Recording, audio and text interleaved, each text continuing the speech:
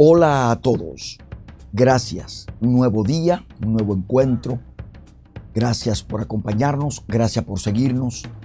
Gracias por darle a seguir, darle a la campanita y compartir como lo vienen haciendo con todas sus amistades cada una de nuestras entregas. Algunas personas están conformes, otras están disconformes, otros nos adversan de una manera virulenta, pero bueno, esa es la democracia.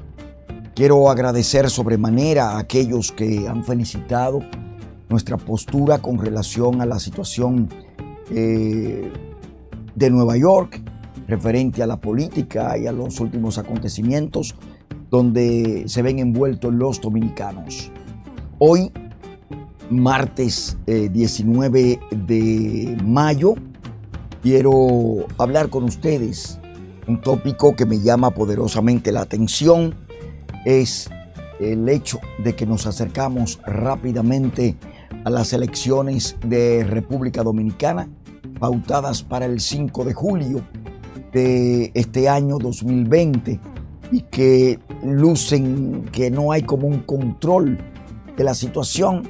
Y hoy he querido eh, abordar este tema para que tengamos una idea o al menos es mi parecer lo que quiero plantearle a ustedes en este, en este trayecto de lo que sería la, la información de acuerdo a mi visualización. Por lo tanto, quiero que ustedes presten atención lo que yo pueda exponer este día. Acorralamiento del país y de un nuevo gobierno en la República Dominicana. Para nadie es un secreto que el PLD está consciente de que la gente ya no quiere eh, que continúen en el poder. La gente se saturó de lo que es el Partido de la Liberación Dominicana. Hay una crisis muy fuerte, muy profunda a lo interno de ese partido. Todavía ellos siguen pensando en Leonel Fernández y Leonel Fernández está empecinado en hacerle la vida imposible a sus ex compañeros, pero sobre todo a un grupo de la cúpula del PLD en el Comité Central y al propio presidente de la República, Danilo Medina. A su vez, el presidente Danilo Medina, que luce como Lionel ser un resentido social, ha demostrado a última hora que le da lo mismo que el, el país se hunda como que el país florezca. A esto hay que agregarle que la oposición no está haciendo el trabajo que debe hacer. Yo tengo informes de que ya en algunos estamentos del gobierno, esto no lo he confirmado, pero el informe que tengo es que en algunos estamentos del gobierno del PLD se estarían triturando documentos con tal de que cuando llegue un nuevo gobierno no exista ninguna documentación que dé fe eh, sobre la crisis y sobre el destajo que el PLD ha hecho en contra del pueblo dominicano. La oposición no está eh, en eso. Incluso se dice que los aviones del Penco, de Lidonza, que han estado saliendo, más que ir a buscar a personas dominicanas que se han quedado en otros países, lo que estarían es sacando dinero y sacando documentación que no comprometa a ciertas figuras del orden político en la República Dominicana. En la tarde de ayer, nosotros presentamos en nuestra plataforma de Facebook un documento que emana de la oficina del presidente de los Estados Unidos, Donald Trump, donde la segunda persona que encabeza una lista de figuras corruptas en el mundo es eh, Rondón, este personaje dominicano vinculado en, en el caso de Brecht.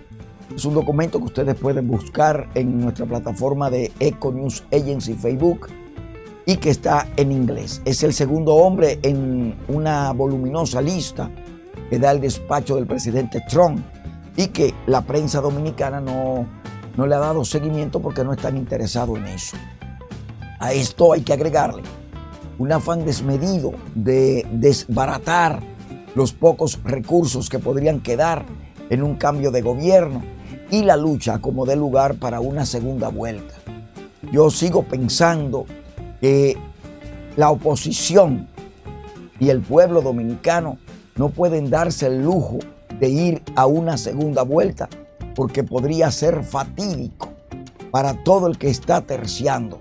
Por lo tanto, los dominicanos tienen que estar desde ya más pendiente a el día 5 con calma, con tranquilidad, no importa lo que esté pasando, no importa lo que el gobierno haga, no importa las, las, las artimañas que pueda hacer el gobierno para crear un peor problema que el que ya tiene la República Dominicana. Para nadie es un secreto que el gobierno que llegue, sea Luis Abinader, sea otro de la oposición, va a tener muchos, pero muchos problemas. El país queda desbaratado en el orden económico porque esta gente se lo llevaron todo. El país queda acorralado en el aspecto social. El país queda con una miseria espantosa en el orden social, cultural y político. Eh, la República Dominicana va a pasar por una hambruna terrible. No van, el gobierno que llegue no va a tener los recursos necesarios para poder paliar por lo menos los primeros 90 días la situación. El gobierno, a pesar de los problemas que tiene que ya va de paso, sigue tomando dinero prestado. El último préstamo que no se le dio importancia informativa fue al Fondo Monetario Internacional, donde se ha hecho un préstamo de unos 650 millones de dólares por encima de ya los préstamos que se habían hecho. Hay que agregar también que de 12 países colocados en la mira del Estado profundo, eh, la República Dominicana ocupa uno de los lugares privilegiados. Entre los tres primeros países, el Estado profundo observa para instalarse y desde esos países poder enfrentar al gobierno legalmente constituido de los Estados Unidos en la persona del presidente Donald Trump. Está en primer lugar Venezuela, donde dice que ya hay personeros del Estado profundo que se habrían asentado en Venezuela. En segundo lugar está la República Dominicana, donde ya se sabe la presencia de Hillary Clinton, de George Soros, eh, y la República Dominicana no se ve como un país independiente, sino que se ve a la República Dominicana junto con Haití como nación.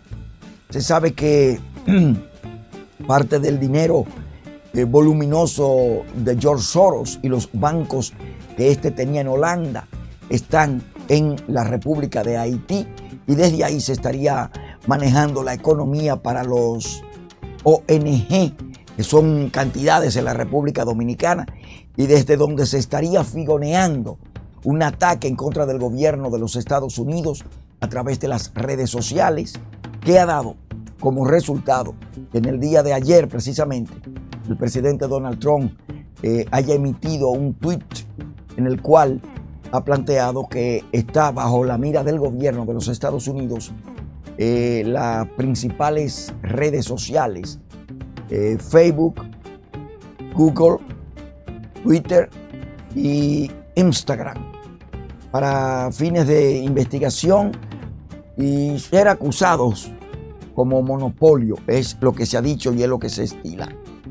A todo esto hay que agregarle también el asunto del fondo de pensiones, que ha sido algo mal manejado, mal llevado y que inclusive la pieza fundamental que tiene que ver con el desalojo de ese dinero es el hijo del presidente del Partido de la Liberación Dominicana, Temístocles Montaz, que ya todos sabemos cuál ha sido la trayectoria no solamente de Temístocles, sino de la familia completa que gana millones de pesos de manera burda, eh, perjudicando no solamente al Estado dominicano, sino también al pueblo en sentido general. Creo, tengo la firme convicción de que esto en los días por venir, si no se maneja como debe manejarse, eh, sería el caldo de cultivo que produzca una poblada en el país por la falta de que se le entreguen las pensiones, los fondos de pensiones a los obreros y al pueblo que de manera voluntaria y simple entregó el dinero y que ahora no, no se le quiere dar. A esto hay que agregarle la postura que han mantenido los legisladores dominicanos con relación a otorgar ese fondo a quienes lo merecen. Y esta postura de los legisladores va a producir eh, que a la hora del el voto, que se emite el voto el 5 de julio, muchos de estos legisladores que hoy niegan darle las pensiones a los dominicanos, sacar la partida económica eh, de vida para poder paliar un poco la miseria que azota al pueblo dominicano y evitar pobladas, porque como decía un dirigente político esta semana, el hambre no espera. Y cuando la gente comience a ver que no hay productos, que no hay dinero para comprar, que no hay alimentos para alimentar a los hijos, para alimentar a la familia, todo esto va a revertirse en contra del gobierno y en contra de todo y la gente va a salir a buscar la comida por la vía que sea, por la vía fácil, por la vía violenta, por la vía de una poblada que es lo que en este momento tenemos que evitar. Por lo tanto, yo pienso que lo más idóneo es que desde ahora no se desenfoquen, hay que pensar por quién usted va a votar cuando llegue a la, urna, cuando usted llegue a la, a la urna de votación, pues ya usted tenga una idea y rápidamente salga del, del escenario que se marcó para evitar también problemas de salud por el cúmulo de personas que podría llegar. Fíjense, usted se retira, usted comienza a pensar, voy a votar por, por Guillermo Moreno, voy a votar por Dani, por el Penco, voy a votar por Abinader. Ok, usted mentalmente, usted se prepara o, lleva su hojita, Abinader, fulano, mengano, sultano. ¿eh? Eh, ponerse, ponerse para eso. Por ejemplo, en Moca, para poner a Moca, usted va a votar eh, por el diputado, por el senador, usted va a votar por el presidente. Usted dice, bueno, yo voy a escoger a, José Rafael Vargas como senador eh, por H o por R, pensado. Voy a escoger a, El Penco, voy a escoger a Danilo, o voy a escoger, perdón, a, a o voy a escoger a Carlos Gómez que no llegue usted a pensar, a perder tiempo en la, en la, mesa de votación, sino que usted escoja, que usted escoja desde que llegue, esté consciente que usted va a marcar. Si va por el presidente, marca a su presidente. Saber en qué boleta va a estar cada uno para que cuando llegue no esté eh, eh, como loco y meditando. No, no. Llegue consciente y salga de ahí. Yo sigo creyendo que debe ser un voto único de una sola vuelta. Una segunda vuelta podría ser perjudicial porque una segunda vuelta por el, eh, el trayecto de espera para la entrega le daría oportunidad al gobierno de crear condiciones no favorables para un nuevo proceso electoral y darle paso a un lío interno en el país o con Haití, que es la última carta que tiene Medina sobre la manga que dé al traste con la continuidad del gobierno del PLD. Por lo tanto, si hay elecciones el 5 de julio, usted debe salir a votar consciente, pero para una sola vuelta. No se puede permitir una segunda vuelta. Eso de que Lionel, Lionel es un comodín. Por mucho que hable, Leonel piensa, siente y respira como peledeísta.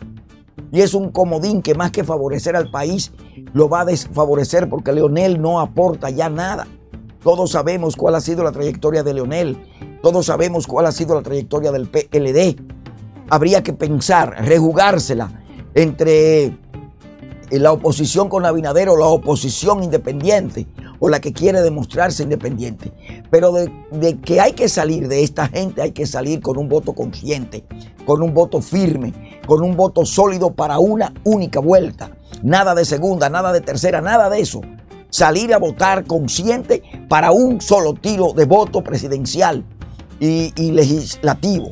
En el caso del voto en el exterior, ustedes saben cuál es mi postura con relación al voto en el extranjero, aunque lo que ha dicho la Junta Central Electoral eh, ayer deja eh, un poco de mareo, porque da 24 horas y hoy salen con otra cosa. Ellos, eh, la Junta ha dado prioridad al cónsul, a los embajadores, Aquí no hay organización. En el caso de Nueva York no hay organización.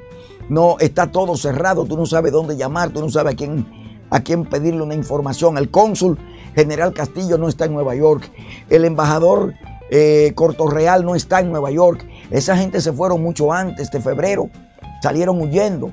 Entonces, si se le da la oportunidad a ellos de que ellos preparen y no están, ¿cómo la van a preparar? No hay un vuelo constante hacia acá. y ellos, por ser del gobierno, no van a prestar, sabiendo que aquí el voto en el exterior es, una planadora en contra del gobierno, en contra del PLD, y ellos no van a permitirse que le den un, chapeo completo en, en, el exterior y van a hacer como lo están haciendo todo lo posible para que no haya votación. Pero en caso de que finalmente se decida que se vote en el exterior, yo creo, estoy totalmente convencido que los dominicanos en el exterior debemos salir a votar por el presidente únicamente. Salir a votar, marcar el presidente y olvidarnos de los diputados de ultramar porque son gente que lo que van es a buscar dinero.